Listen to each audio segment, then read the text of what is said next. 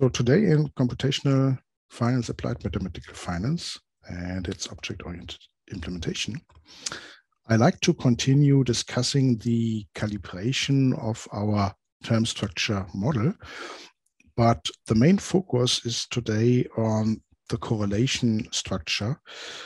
And what we will do today is really not related then to the interest rate model. It's a bit universal. It's to some extent how do we generate correlated Brownian motions.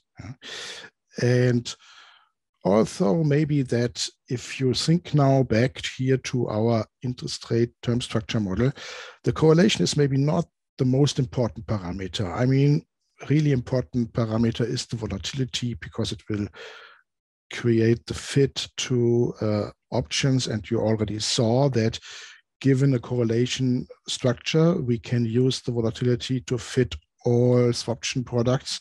So that's a very powerful parameter. So maybe correlation is not the most important parameter, but um, creating correlated, yeah, so Brownian motions, so Brownian motion with an instantaneous correlation is an important part of the model and maybe of many models. So that's a bit universal today.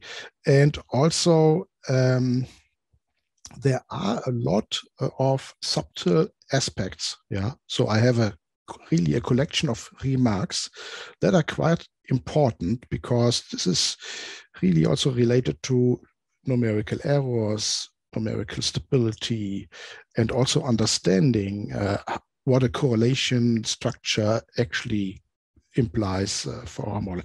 So this is really about getting the right intuition for the model. We are in the section on calibration. We already looked at initial condition and volatility, had some numerical experiments, and I like to talk about the correlation, more specifically the factor decomposition and factor reduction. So to some extent, it's even independent of the problem of calibration. So first, factor decomposition. So we consider the model, well, equation number 100. Okay, that was our term structure model in this form. Okay, and there was here the Brownian increment, and you see that every forward rate here, I had its own Brownian increment. So every model primitive quantity had its own Brownian increment. And then we specified here some instantaneous, yeah, so infinitesimal uh, correlation. So that was our correlation model. And we had an alternative form for our model. So that's here the number 100 star, where we actually did not express the dynamic in terms of these correlated Brownian increments. So these guys, dw here. Well, we used independent factors, the duk, yeah, so the duk are independent Brownian increments. So dui, dul is zero if i is not equal to l, and it's uh, dt if the two indices are equal. So we used that and then had here some uh, factor loadings in front. And this uh, factor loading, the lambda ik, is actually uh, the product of the sigma i, and then comes some fik. And yeah, if you now perform the scalar product of dw with dw transposed, or if you just multiply the dwi with dwj, then you see that your correlation is actually the scalar product of these factors. Yeah, so the fi row vector and the fj row vector. So we already had this alternative representations here with these factor loadings f. Uh, so if you separate volatility from the correlation, uh, then it's a factor loading f. And we saw here, so the section was efficient implementation for the drift, that if we have, so efficient here was a little bit related to the M. If we have here a small number of these factors, then the calculation of the drift is much faster. I will come back to this later when I talk about factor reduction. But first, the question, how do I calculate these uh, factors fik? So if I have fik, then of course it's clear how to get lambda, yeah? just multiply with the correlation uh, parameter. So given a correlation matrix R, how do I determine these factors fik that we can use the alternative form, the alternative form where we create the Brownian increments dw, well, the correlated ones, dwi, uh, from independent Brownian increments du, uh, duk. Uh, I discussed this here for the infinitesimal Brownian increments. So you see there's a, here a D in front. But of course, um, what comes next also holds for the Brownian increment that appears in the Euler scheme. Yeah, it's just uh, a constant coefficient, yeah, and then you just in integrate the du to get a delta u and the dw to get a delta w, and everything, the equations are just the same. Maybe you can just write it down for random variables, yeah, for arbitrary random variables. Uh, so the derivation is, is just the same. So here is how it works. Given a correlation matrix, so we start with some correlation matrix R. Yeah, so here I label the indices uh, i, j from 1 to n. Uh, if you think back of our model of the forward rates, the forward rates were associated with a time discretization time discretization from T0 to Tn, and the forward rates were labeled from i equals 0 to i equals n minus 1. So the indices are maybe here shifted by one. Uh, yeah, but that's that's uh, not an issue. Yeah, okay. So I label here my correlation matrix R, rho ij. Uh, it's an n by n matrix. So this is my correlation matrix. Of course, the correlation matrix is symmetric. Yeah, that's trivial. Uh, but the correlation matrix is also positive semi-definite.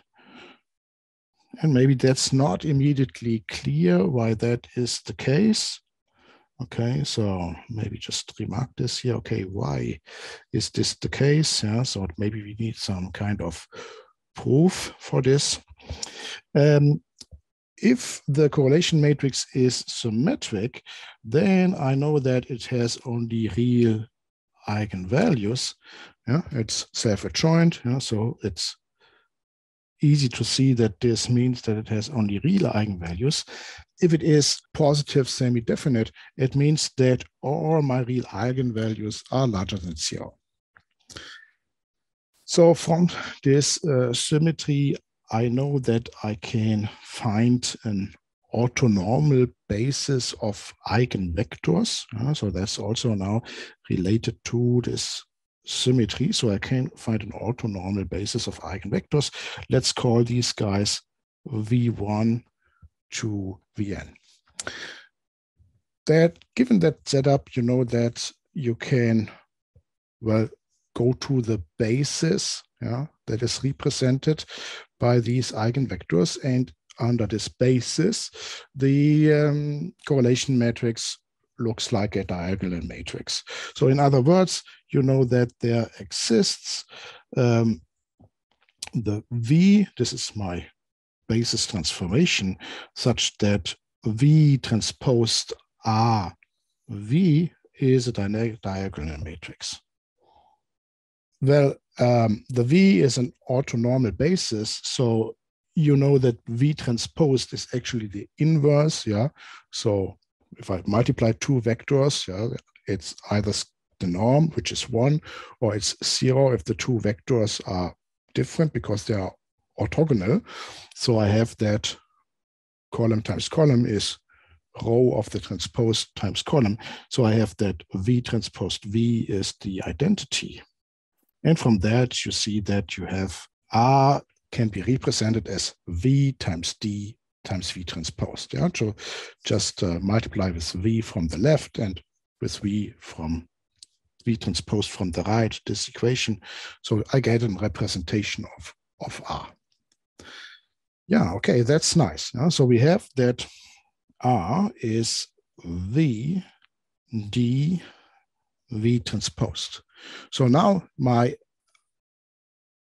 eigenvalues on the diagonal are all positive or non-negative. So I can take the square root.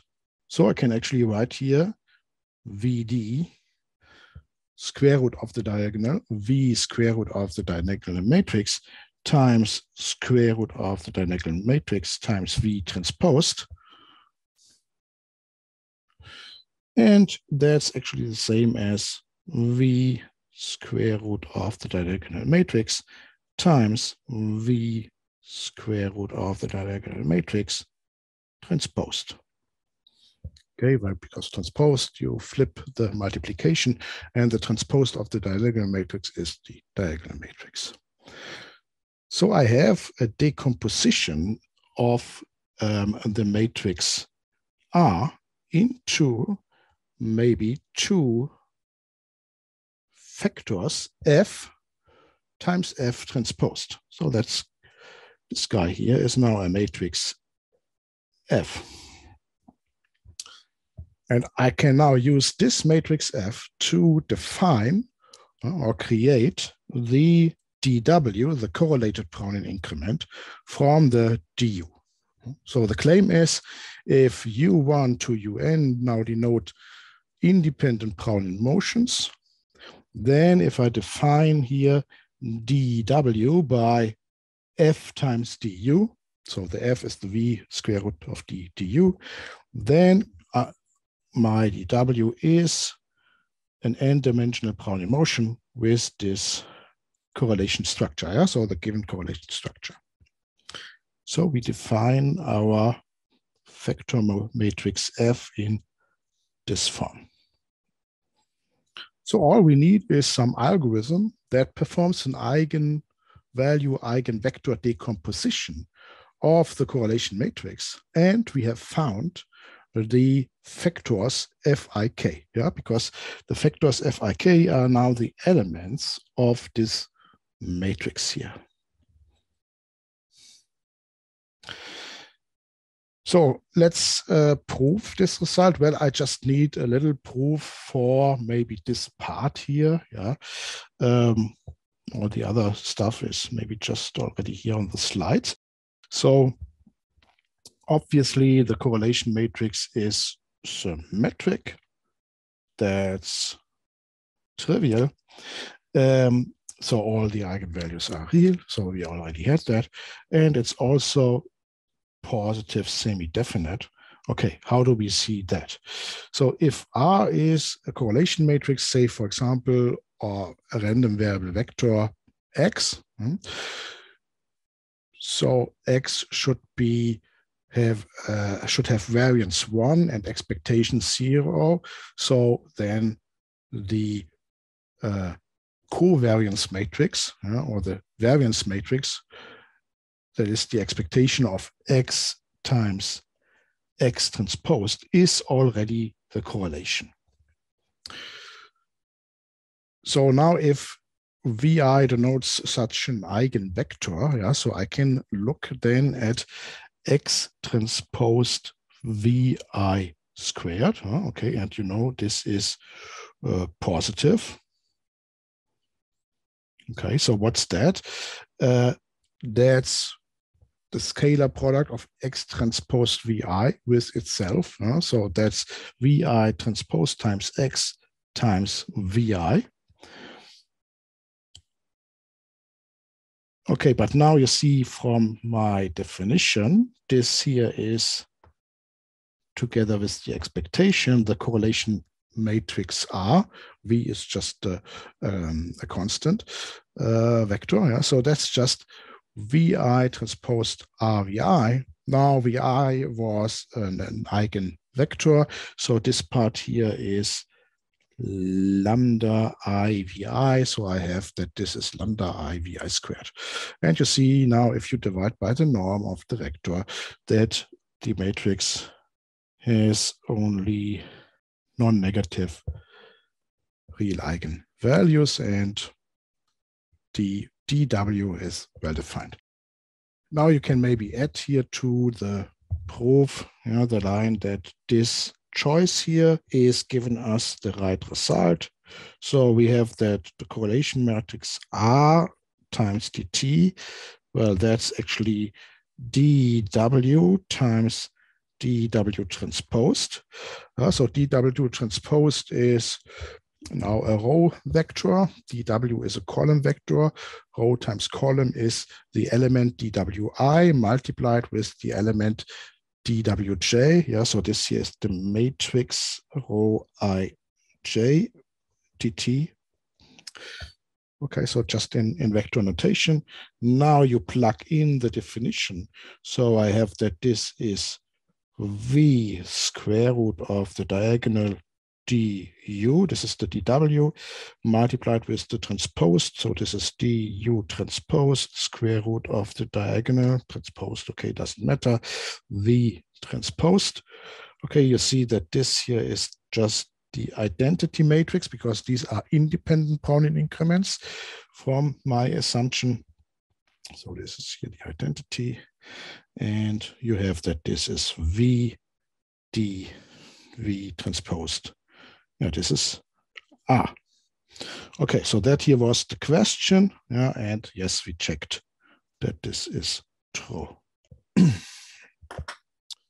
okay, so I have the rule how to create uh, these correlated Brownian motions, these vectors f. This is now an opportunity to introduce um, another thing, the factor reduction. And I already mentioned that there is a motivation to use a correlation matrix that has a small rank. Yeah.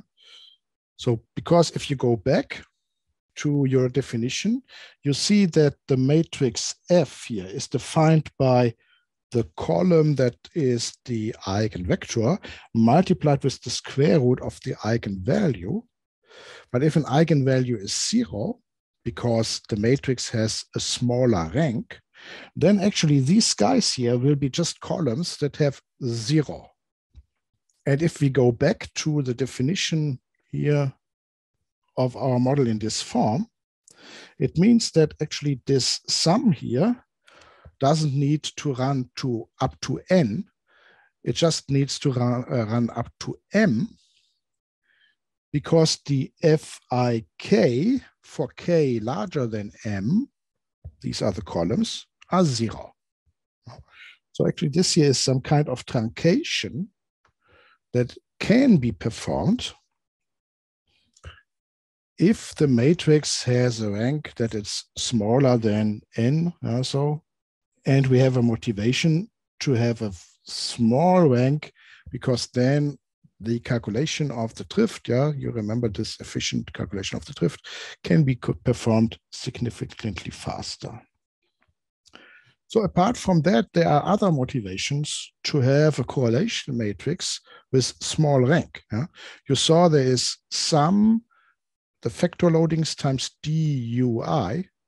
So this rank also determines how many random numbers do we have to generate. Yeah? So if there is a DU1, DU2, I have to generate two random numbers, two independent random numbers for the DUs. Now, if there is just a DU1, I just have to generate one yeah, for every step. So that's also scaling linear here. Yeah, the effort to generate random numbers scales linear in the rank of the correlation matrix. And a third argument, if you use many DUs, you are actually generating a random vector in high dimension. And you maybe remember that random number generators, they become poorer in high dimension. So if you need to generate a random vector in higher dimension that is really degrading a little bit the quality of your, your sampling. So you see there are many, actually here on the slide, three different motivations, while I would prefer to have a correlation matrix of small rank. But then if you think back to how we specified the correlation, when I talked here about calibration, I mentioned that sometimes you just specify the correlation in terms of such a simple model, a simple model where correlation just depends on the distance, uh, but it's absolutely not obvious if this matrix here has a small rank. Actually, in most cases, it has full rank. Full rank, but with a lot of, uh, well, not so important stuff. Okay, so we like to do now the following. Given a correlation matrix, can we use the previous uh, factor decomposition to reduce the rank of the correlation matrix by throwing away stuff that is maybe not so important. So this is the factor reduction. So we use the construction of the Brownian motion that we have just discussed. Also, this means that we have the factor matrix F, where the columns are just the eigenvectors multiplied with the square root of the eigenvalues. And now we just do the following. We define a reduced factor matrix. So this is here the factor matrix, okay, we do some kind of reduction. This is the reduced factor matrix where we just run for k from 1 to m. So we just use the first m columns. So this matrix here is an n by m matrix. This matrix on top is an n by n matrix. And obviously the rank of this matrix can be at most m. Uh, so I have already reduced the rank. And with that reduced matrix, I now defined my Brownian motion by saying dw is f reduced, fr, f superscript r, times du. So this means that here the du is now m vector and you have row of m elements with the column of this m vector, and you have n rows giving you the n vector of the Brownian increments. So, well, in this representation with the sum, yeah, sum uh, lambda i k t u k, yeah. So that means that in the sum, you have now columns of zero. You just drop a few terms. Yeah? So dropping these columns. Uh, okay, so dropping the columns uh, is not admissible. That's not uh, what, what we are allowed to do. We have to do a small modification. Uh, I will explain that on the next slide, but just have the formula here. I need to renormalize the row with the norm of this reduced, this cutoff matrix. Yeah? So what's the point here? This will lead to Fik of this reduced matrix multiplied with Fik of this reduced matrix is equal to one. Yeah? Because first I had that row i with row i of the matrix F, the not reduced one, uh, is the correlation rho ii is equal to one. So I had that all rows had had norm one because it is a correlation matrix. And so um, the norm has to be one because the correlation matrix has one on the diagonal. And if you just cut off a few columns, then of course you lose some, you lose some variance yeah, in, in, in this. Yeah? And the correlation of the random variable with itself is no longer one. Yeah? So you have to do this renormalization. Well, uh, are we throwing away important stuff? And that was maybe not so obvious, but on the previous slide, and I would like to have the same setup as on uh, here our lemma, the eigenvalues were ordered.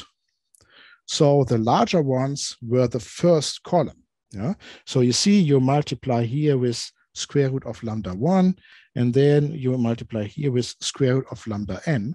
So the larger columns come first. So by throwing away the last columns, the columns m plus 1 to n, I'm actually throwing away the columns that have a low weight. Yeah? These here are all normalized vectors. So they just define a kind of direction, in which direction is the movement. And this here defines how strong is the movement. So at this point um, that we throw away the columns from m plus 1 to n, so we leave out the columns with small eigenvectors, uh, eigenvalues, sorry. So we leave out columns with small lambda k.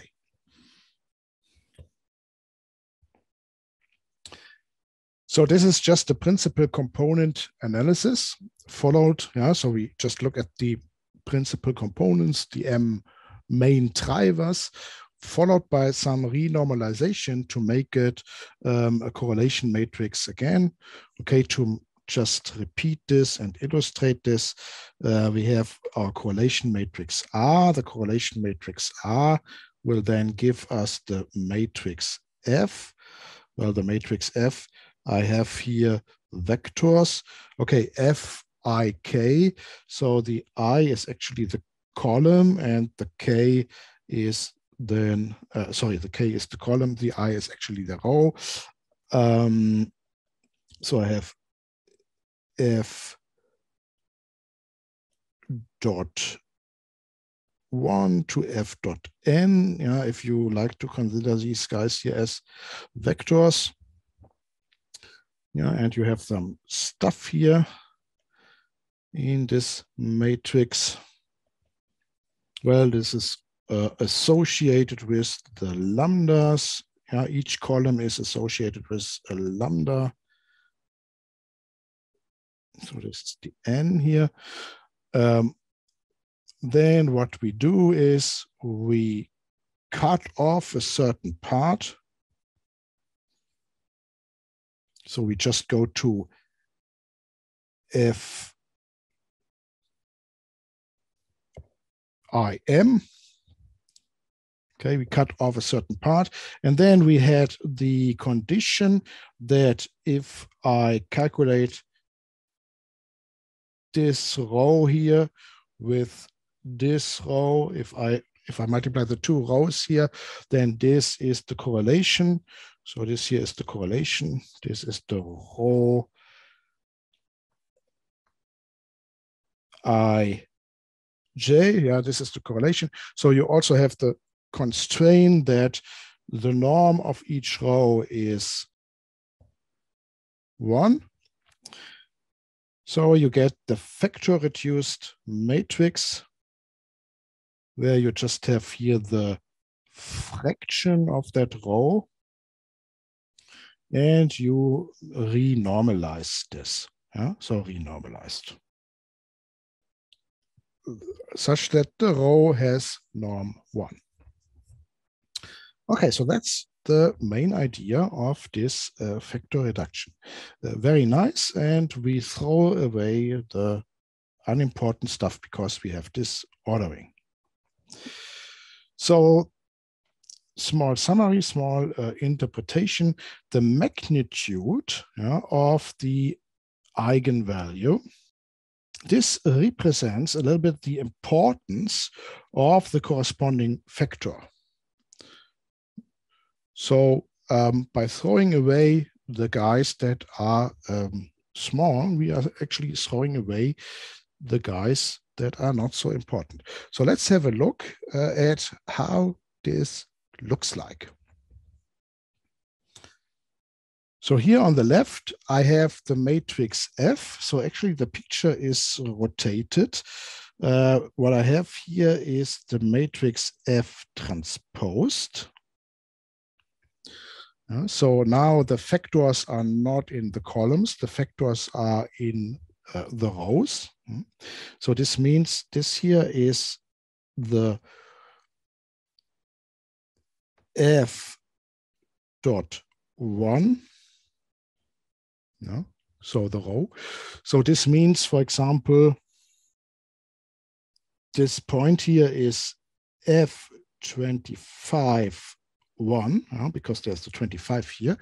It's the factor that is multiplied to the random variable delta u1. So this guy is multiplied to delta u1. Or infinitesimal, the du1. So a random number on du1 multiplied with this number defines the dw, uh, one part of it, of the dw25. Uh, so this guy here is the movement applied to the 25ths if we speak of forward rates or here uh, for historical reason, LIBOR rates, uh, the 25th forward rate gets this movement. And you see that um, this factor actually moves all the guys here in almost in parallel. So you can see, think of this red line now as a shape of a movement. So when you have some random number that goes up, it will say that all the rates go up.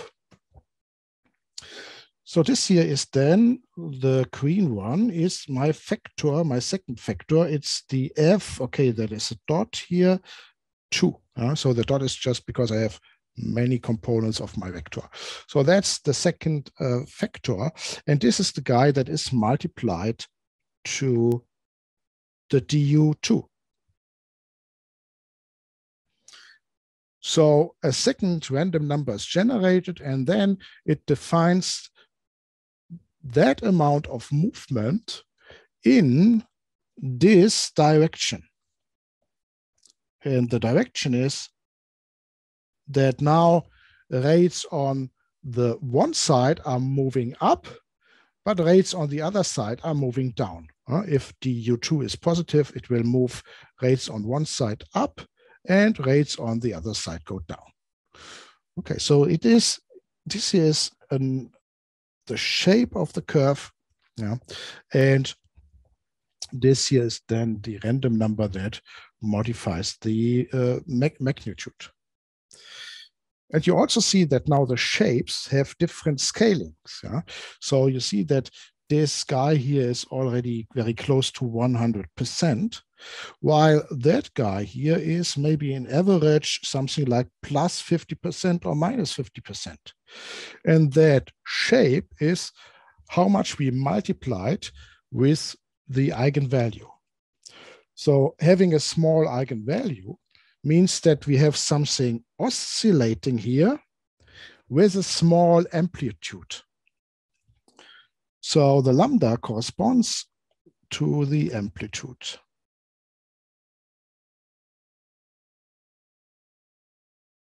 Actually, maybe square root of lambda, okay. It's just um, a correspondence. Then factor reduction means that we go from left to right, and we have the matrix F reduced, where we have reduced, where we have dropped some columns. Well, I uh, I already mentioned that the picture is rotated, so that's here F reduced transposed. So I removed some rows. Removing some rows is removing some of these lines. So I just remove some of the lines and I remove the guys that have a small amplitude, a small uh, eigen uh, value. And then you see that the shape of the red curve is not exactly the same. Yeah, there's a small turning point here suddenly. Yeah, that wasn't on the left-hand side. And that's due to the renormalization. Yeah. So we have we have dropped some amplitudes, some variance, and we have to redistribute this part to the other guys. So the renormalization is now in the column here. So we do a renormalization such that the sum of the squares of these points equals to one, okay? So the sum of this squared is one. So this is our renormalization that we have performed. And you see there's a slight change uh, in, the, in the shape. If you have uh, very high eigenvalues also on the other uh, factors, then the picture could look like this. You see you have large amplitudes here inside. And then, of course, you remove maybe important factors. And you also see that the change here on the shape is a little bit more significant. Here, the amplitude of this red factor is 25% approximately. And now it has increased to up to 50% uh, because we have removed so much variance from or so much uh, movement from the other factors. So you have to be a little bit careful. This correlation structure here maybe requires more factors, a higher a higher rank. So if you look at the last picture, uh, at the last case um, again, and you now plot the correlation ma matrix. So this here is now the correlation matrix R. Yeah? So these points here are the rho ij. Um, so the rho ij here in color. Yeah, so you view it maybe from the top. So this here is then uh, the I and the J, if you like. Um, or the other way around. So this here is the I and the J. Uh, then if you now perform the factor reduction and you just calculate again the reduced F reduced F reduced transposed, uh, so the reduced matrix, you see that the correlation matrix is a bit, yeah, away from the original one. Yeah, so maybe you have thrown away uh, too much uh, information, but still, uh, you have some some uh, properties. Yeah, it, uh, you have some kind of decay here in this uh, direction. You also have this decay in this direction, but you cannot represent it precisely. Okay, so maybe we can play a little bit with this. I have a small uh, toy. I use here our correlation model that we already had before. So correlation model here now refers to this functional form. And I would like to uh, view now how do the factors uh, impact uh, or the factor reduction impact this correlation matrix. So if you like to do this um, at home, you can uh, check out this code here. There is a little toy in this uh, repository, uh, which you actually can run using, using the maven execute command. So let's just do this. So if you not already have it, you can just check out this repository, FinMath experiments from GitHub. Then let's enter into the directory and let's run this command. Okay, and then a small toy will start where you can specify this correlation model. Okay, so I can specify here the correlation model exponential minus a number times the distance of the, in our interpretation, forward rates on the uh, interest rate curve discretization. So Ti minus Tj. Okay, let's start with the model e to the minus zero. So that's actually the correlation matrix where every entry is one. Okay, so when every entry is one, the matrix has, uh, yeah, correlation here you see is always one. The matrix has rank one. It has one eigenvector, yeah, one, one, one, one, one is an eigenvector. The eigenvalue is n. If you multiply this, yeah, you get just n. And the remaining ones are just zero, yeah, because the n minus one dimensional orthogonal space yeah, um, are, is the space of the eigenvectors belonging to the eigenvalue zero. So you see that I have one factor and that factor is one. And also now in the interpretation, dw equals sum of fik duk, you see there's only the f1k, the first factor, it's always one. So every dwi is equal to du1. Everyone gets the same movement. So that's nice. Um, then maybe let's increase a little bit here the correlation structure. So I have a 0.1, yeah, so a 1%. And you see that I have here a decay. So this is a correlation decay parameter. Maybe you don't see it here very well in the colors, but here it becomes a little bit lighter to the end. Okay, so you see there is still the parallel movement very dominant, but not completely 100%. And there is another factor popping up, the movement where the curve is tilting.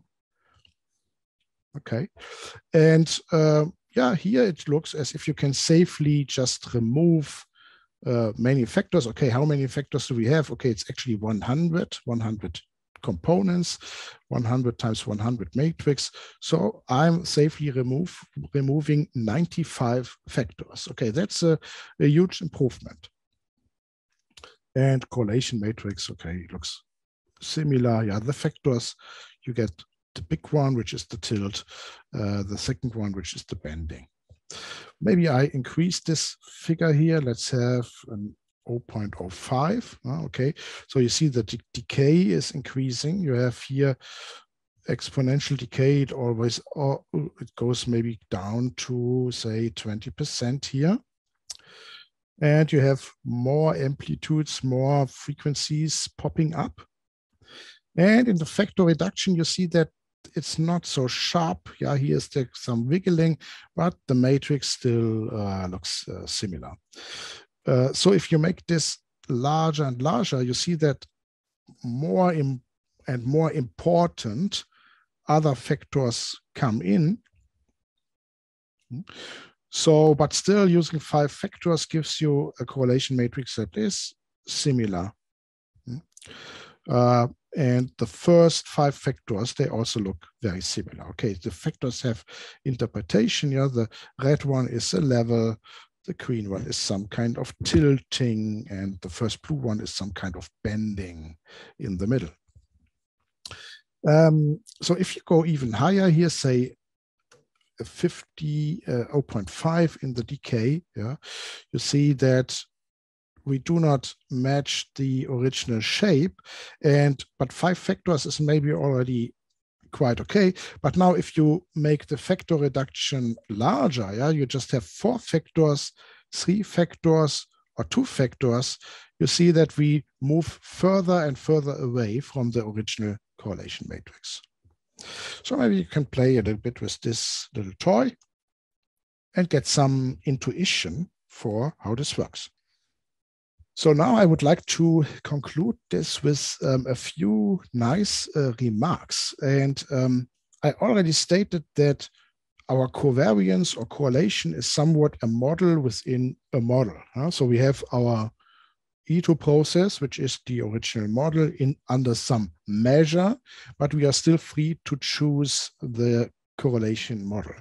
And we would like to choose the correlation model maybe in simple in simple ways. For example, one possible way was the functional form.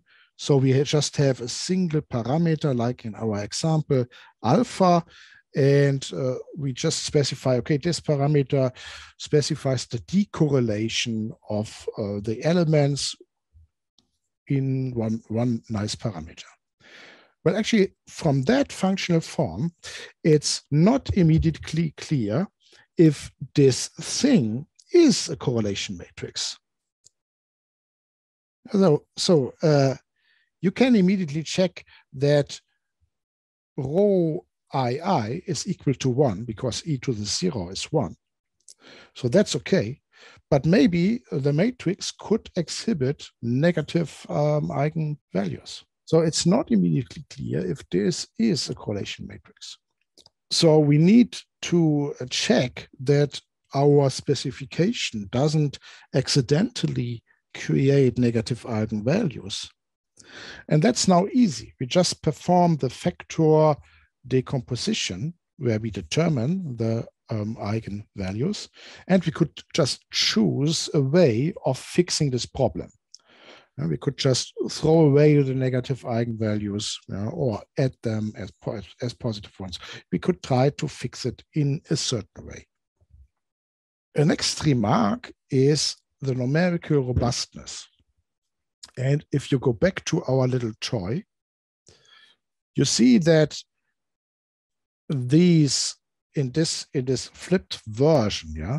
So these rows here are my eigen vectors multiplied with the eigenvalue. But if you have now the green one, then you could just multiply the green one with minus one, and it would also be a solution. And you immediately see that flipping the vector, uh, so multiplying it with minus one, is the same model because it just means that you have the random number du in this part du2 because it is the second one, the green one. du2 has changed the sign. And the random uh, number, the Brownian increment, is normally distributed, so it is uh, symmetric. Yeah, so if you draw the random number one or minus one, yeah, it doesn't matter if you if you just flip the sign. So there is some non-uniqueness so I said you determine eigenvectors, eigenvalues, but there is some uh, non-uniqueness. So we have the problem if vi is now a normed eigenvector, then minus vi is also a normed eigenvector. Actually, it should be vector here, right? And even worse, if you have a multiple eigenvector, uh, eigenvalue, uh, then you could use just any linear combination from the span, from the subspace that belongs to this um, eigenvalue. So if you have a multiple eigenvalue. So it's maybe not unique how we specify the factors. And now if your numerical algorithm produces sometimes the plus and sometimes the minus one, this is maybe creating some noise and this is a problem then with respect to the numerical robustness yeah it could happen that you do a, a small change and suddenly your model flips to another um, another eigenvalue decomposition and that would result in a small parameter change could flip your numerical error. So that I would like to avoid. So to avoid this, what I could do is just I create some convention that makes this choice unique. So for example, with the sign, the convention could be that um, the first element, yeah, so the fi1 uh, should be uh, positive.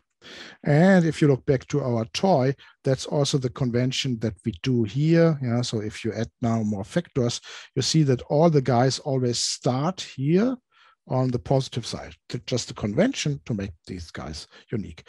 You can peek into the code, yeah, actually, if you like. So here you have the code for this.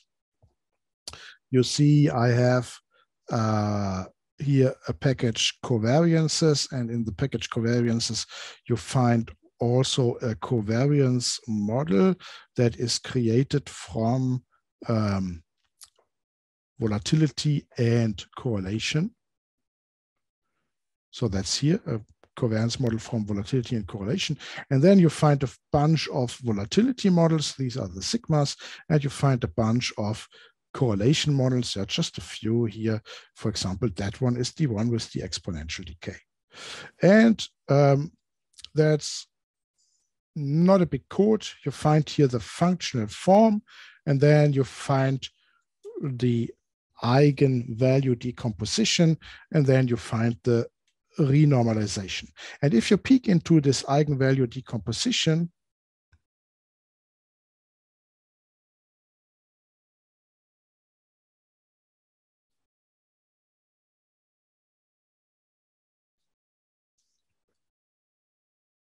So you see there is this convention impl implemented here that checks uh, the first element of this eigenvector and ensures that I always get the, the same eigenvector. Uh,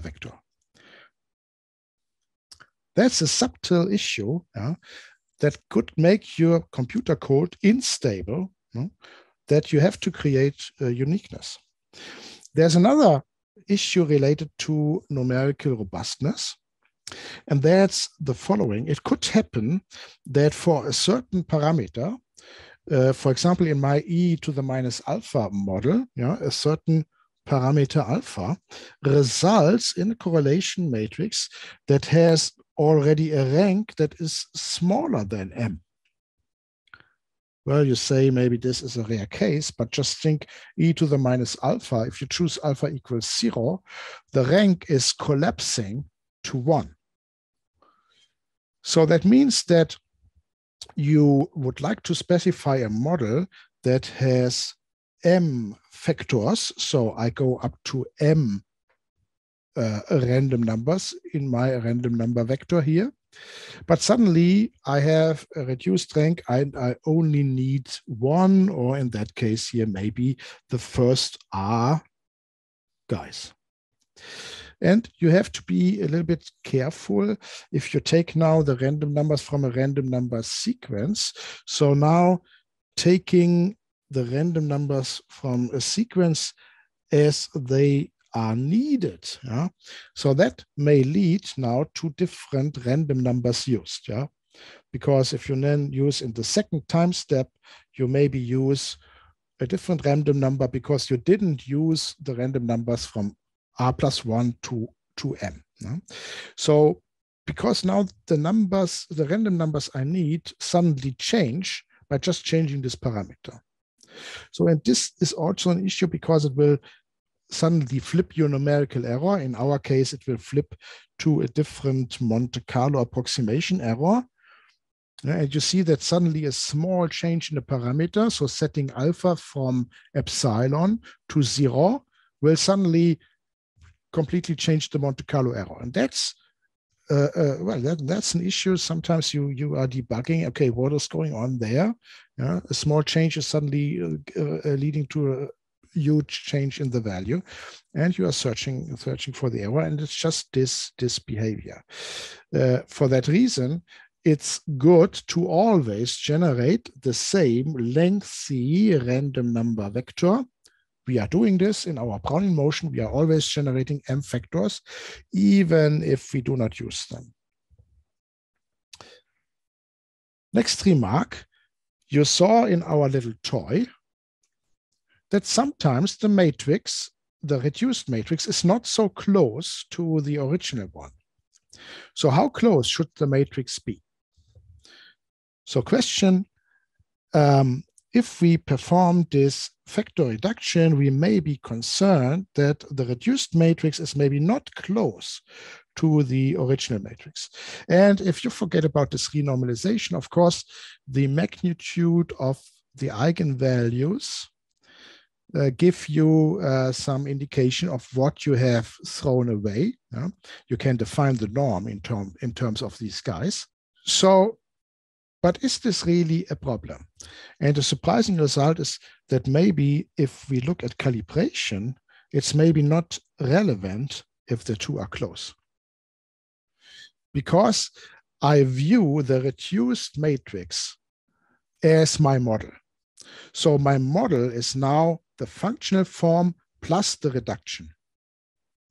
And then calibration is trying to determine the best fit reduced correlation matrix.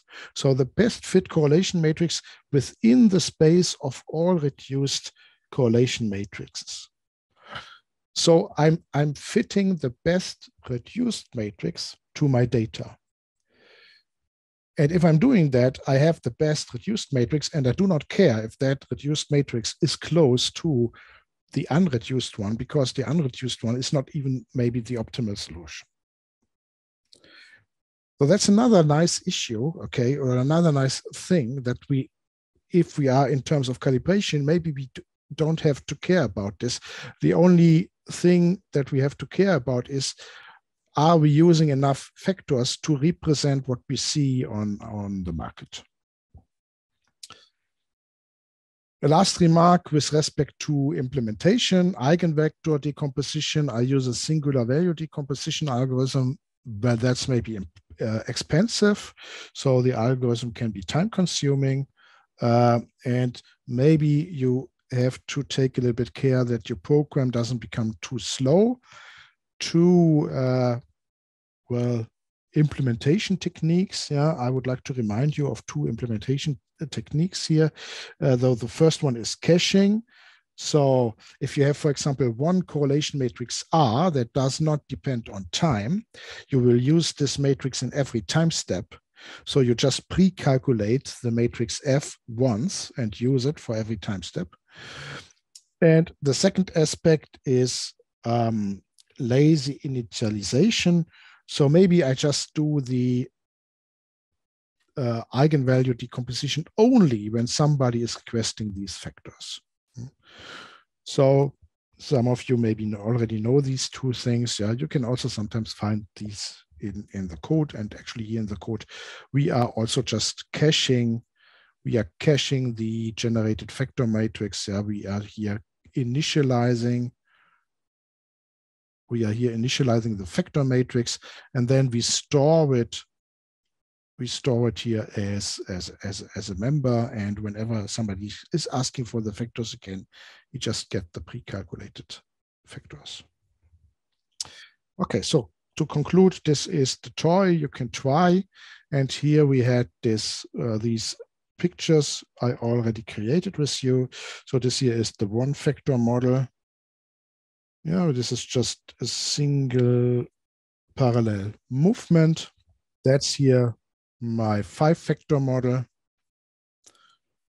with higher decorrelation and even higher decorrelation. Yeah, so you also have this in the script. And here you have the code in the script. Okay, so that was my session on the correlation.